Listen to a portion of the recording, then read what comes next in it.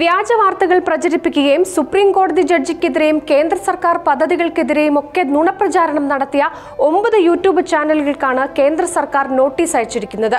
ഈ ചാനലുകളെല്ലാം തന്നെ കേന്ദ്ര സർക്കാരിന്റെ നിരീക്ഷണത്തിലായിരുന്നു. നിരീക്ഷണത്തിന്റെ അടിസ്ഥാനത്തിലാണ് ഈ ചാനലുകൾക്കെതിരെ ഇപ്പോൾ നടപടി സ്വീകരിച്ചിരിക്കുന്നത്. പ്രസ് ഇൻഫർമേഷൻ ബ്യൂറോയുടെ യൂട്യൂബ് ഫാക്ട് ചെക്ക് സംഘത്തിന്റെ നേതൃത്വത്തിലാണ് പരിശോധന നടത്തിയത്. ഇതിന്റെ അടിസ്ഥാനത്തിൽ ഡെയിലി സ്റ്റഡി സർക്കാർ യോജന ഒഫീഷ്യൽ ബജ്ര എഡ്യൂക്കേഷൻ തുടങ്ങിയ ഒമ്പത് ചാനലുകൾക്കാണ് പൂട്ടുവീണിരിക്കുന്നത്. നിരോധിച്ച കൂട്ടത്തിൽ മലയാളം യൂട്യൂബ് ചാനലുകൾ ഒന്നുമില്ല ഇതിനു മുൻപും ഇത്തരത്തിൽ യൂട്യൂബ് ചാനലുകൾ കേന്ദ്ര സർക്കാർ നിരോധിച്ചിട്ടുണ്ട്. മതസ്പർദ്ധ സൃഷ്ടിക്കാൻ ശ്രമിച്ചതിനാണ് അന്ന് പത്തോളം ചാനലുകൾക്കെതിരെ കേന്ദ്ര സർക്കാർ നടപടിയെടുത്തത്.